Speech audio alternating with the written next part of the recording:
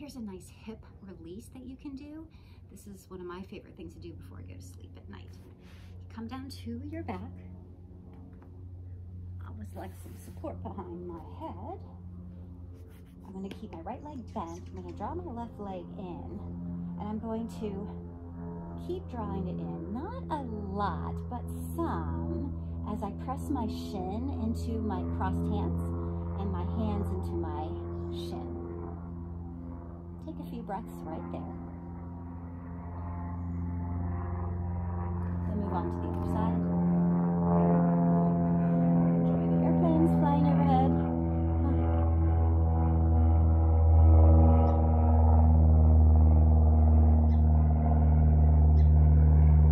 Going back to the original leg, I'm going to draw that thigh in some. I'm going to take my palm and press on that thigh. And I'm going to draw the thigh in towards the palm. But if you'll notice, nothing's moving here.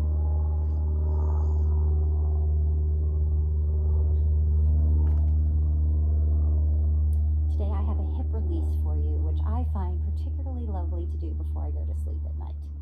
Knees are bent, feet on the ground.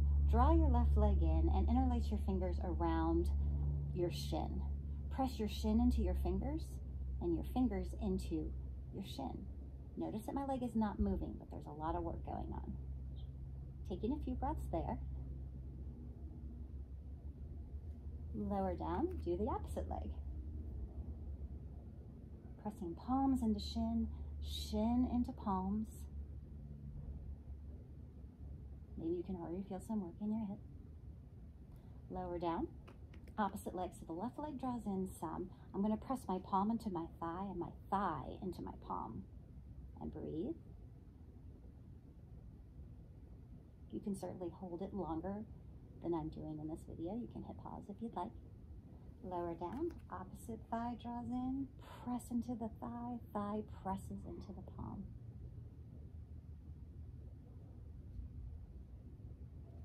Lower down, grab yourself a yoga strap or a bathrobe belt or a scarf. Wrap it around the ball of your left foot. Take that left foot long. Leg is going to be heavy here. Arms are going to do the work as you take your leg from side to side. Come back to neutral and then take some circles. Again, imagine your leg is asleep and your hands and your arms are guiding that leg into some circles.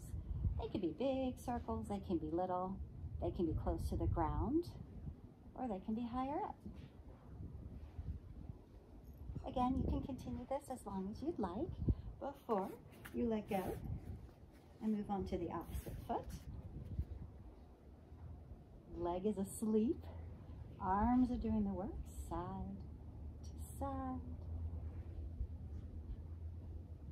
maybe up and down. Reminding yourself to not let the leg do the work, let your arms do the work. As we conclude nice circles, maybe one direction,